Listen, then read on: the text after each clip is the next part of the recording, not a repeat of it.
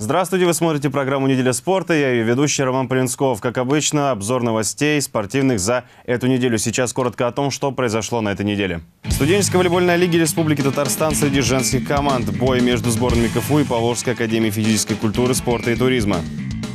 Кубок университета по мини-футболу. Кто смог пробиться в финальную стадию турнира, а кто вылетел уже после первой игры. Феерия голов студенческой хоккейной лиги. Разгром от Казанского федерального в сторону авиационного института. Спартакиада вузов Республики Татарстан. На этот раз отправляемся в водное царство.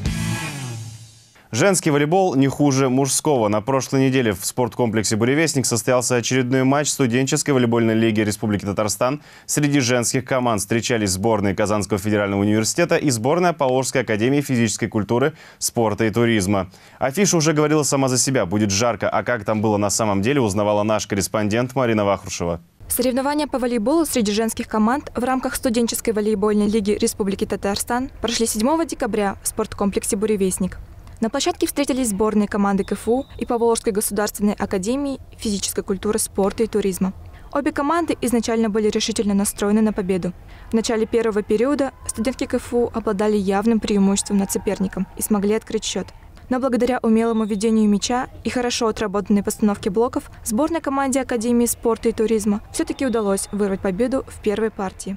Во втором периоде, несмотря на проявленную стойкость и стремление к победе, волейболисткам сборной команды КФУ не удалось противостоять слаженным действиям соперника. Вторая партия закончилась со счетом 6-25 в пользу сборной Академии спорта и туризма. Третий период игры выдался тяжелым и очень напряженным. Ни одна из команд долгое время не хотела уступать друг другу. Ощущалось явное желание каждой команды одержать победу. Но студенткам сборной Академии спорта и туризма вновь удалось перехватить инициативу и вырваться вперед. И окончательная победа ушла именно в их копилку с итоговым счетом 3-0. Мы старались, у нас что-то получалось, но команда соперников была все равно сильнее, опытнее, выше и поэтому у нас не вышло. Самая большая трудность была обыграть их блок, то, что они намного выше, и, можно сказать, забор, и нам было очень тяжело пробиться сквозь него. Футбольные баталии сопоставимы чемпионату Европы. Кубок университета прошел на этих выходных в Казанском федеральном университете. А именно предварительная его часть, включая четвертьфиналы. Кто из команд-участников смог выделиться и пробиться в четверку лучших, кто из команд стал самым настоящим андердогом, а кто примерил на себя роль Лестера в этом сезоне в английской премьер-лиге. Об этом и о другом узнавал наш корреспондент Денис Давыдов. Рано утром, в воскресенье, 11 декабря, лучшие футболисты своих институтов приехали в спортивный комплекс «Бустан», чтобы побороться за Кубок университета КФУ. Мини-футбол – одно из самых зрелищных спортивных соревнований спартакиады, поэтому трибуны в «Бустане» определенно не пустовали. Открыли турнир инженеры и коуди и сразу же наглядно показали весь накал борьбы всех предстоящих игр. Обе команды на протяжении всего основного времени были равны, и только лишь в серии пенальти Голгам удалось держать победу. Далее была одна из самых многообещающих игр между юристами и идеологами, в которой юрфак одержал полную победу со счетом 3-0. Институт социально-философских наук и массовых коммуникаций выбил Бахмат, забив два безответных мяча. А химический институт с минимальным счетом сенсационно обыграл эконом. Далее пошли четвертьфиналы. Физики благодаря жеребию уже ждали там своих соперников. Они не оставили и шанса экологам, разгромив тех со счетом 4-0. Следом за ним в полуфинал вышли международники, которые со счетом 3-0 обыграли медиков. Такими же цифрами закончился матч между юрфаком и филологами, где юрфак одержал очередную победу. И в завершении дня Институт социально-философских наук и массовых коммуникаций в напряженном поединке переиграл химиков со счетом 3-1. Таким образом определились четыре сильнейшие команды, которые продолжают борьбу за кубок.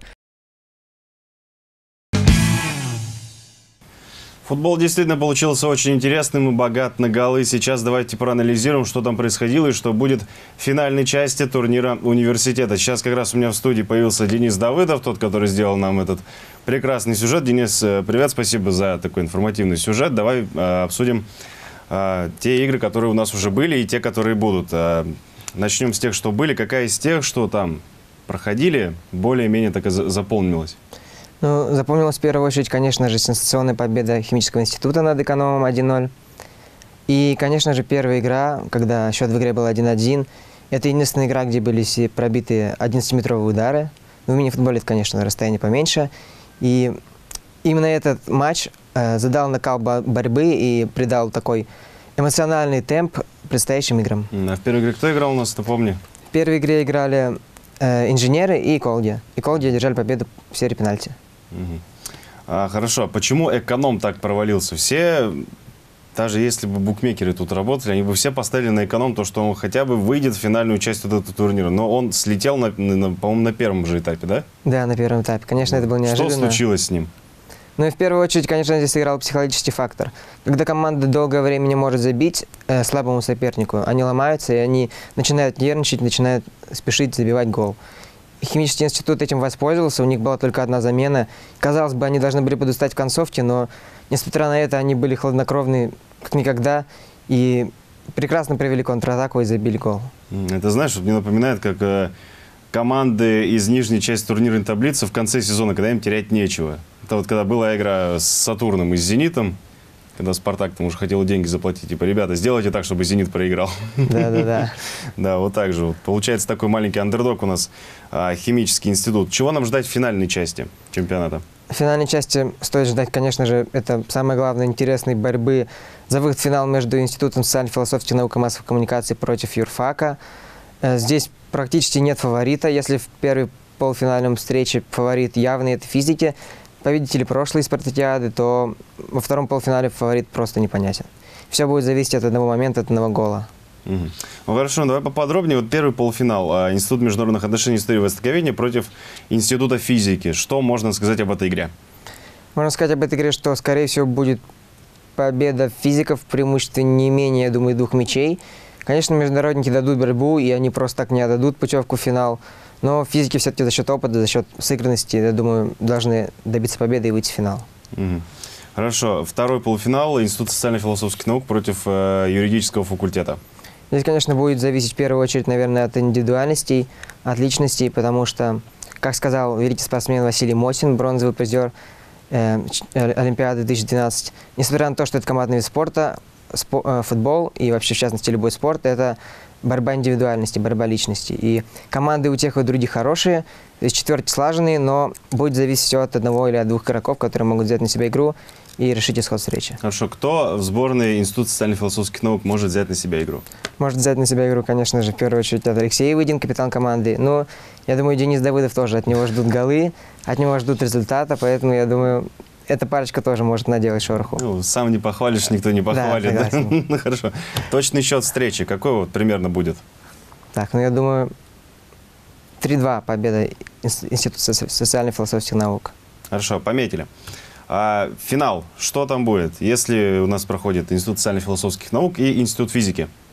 Прогноз. Так, если пройдут, то, я думаю, будет минимальная победа и снимка 2-1. И на этот раз они отыграются уже за прошлогодний финал и возьмут кубок. Прошлогодний финал также с физиками был, да? Да, прошлогодний финал был с физиками. Угу. Хорошо. Ну что ж, э, большое спасибо тебе, Денис, за подробный отчет э, с этих матчей. Ну а тебе большое спасибо, Денис, что пришел. Мы продолжаем программу «Неделя спорта». Настоящий кураж поймали игроки хоккейной сборной Казанского федерального университета в матче против авиационного института. В Акбуре состоялся очередной матч студенческой хоккейной лиги Республики Татарстан. КФУ против КАИ. Какой-то степени матч получился достаточно жарким и достаточно интересным на события, но, увы, неинтересным на голы. Почему именно так, спросите вы. Все ответы вы узнаете в репортаже Тимура Золотарева. Хоккей – один из самых завораживающих и травмоопасных видов спорта. Именно в этой игре наиболее ярко чувствуется вся полнота соперничества и противостояния. 10 декабря в такой схватке столкнулись команды КФУ и КАИ. Спортсмены КФУ отличились прекрасной защитой и красивой игрой в нападении. Игра была накаленной, защиту КАИ можно сопоставить защитой ЦСКА. Но агрессивная игра в нападении позволило КФУ пробить эту защиту 6 раз. Было много голевых моментов, масса нарушений, благодаря чему команды играли в меньшинстве. Слаженные действия команды привели к достойной победе со счетом 6-0. Нельзя было не прочувствовать всего накала игры, не обошлось без штрафов и удаления со стороны обеих команд. В жесткой борьбе за шайбу был травмирован игрок КАИ. Напряжение и стремление победить приводили к стычкам между игроками. Но судьям удалось держать все под контролем и не допустить на льду драк. Мы готовились, соперник серьезно. Вышли, обыграли. Могли больше забить, но, думаю, достаточно. Главная команда отыграла, главное защите отыграли надежно. Мне не пришлось особо даже включаться, только в конце там пару моментов было. Очередные соревнования в рамках спартакиады вузов Республики Татарстан. На этот раз плавание. За звание лучшего боролись более 200 участников. Среди них представители вузов и спортсмены, выступавшие индивидуально. Кто оказался быстрее всех в воде и получил заветные медали и кубки, узнавала Василиса Дзюба.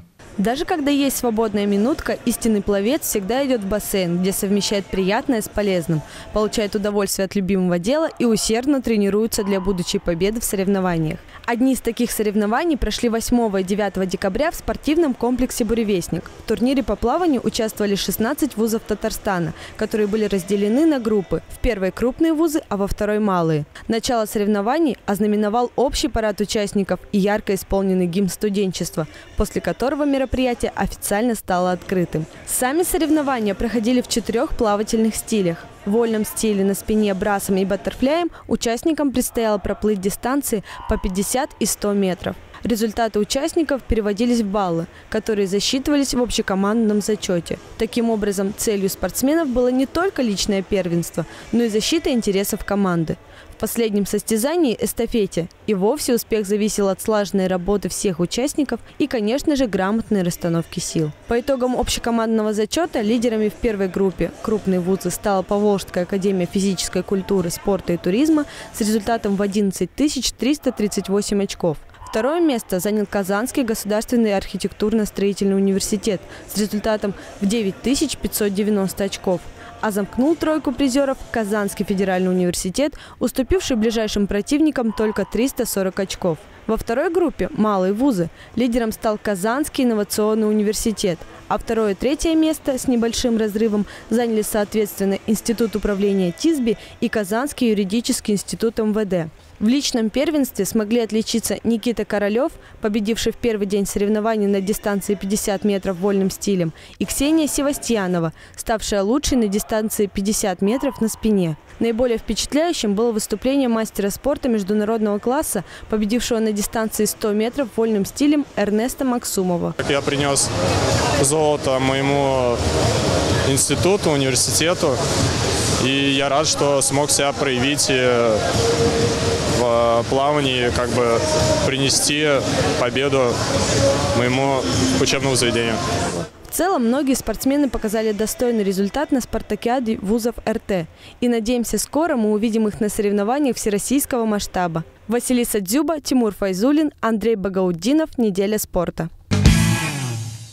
Ну и на этом все. Такая выдалась у нас спортивная неделя. Смотри нас на следующий. Будет много всего интересного. Также не забывай заходить в нашу группу ВКонтакте. Ссылку ты видишь сейчас на экране. На этом все. Большое спасибо. Ты смотрел программу «Неделя спорта». До скорого.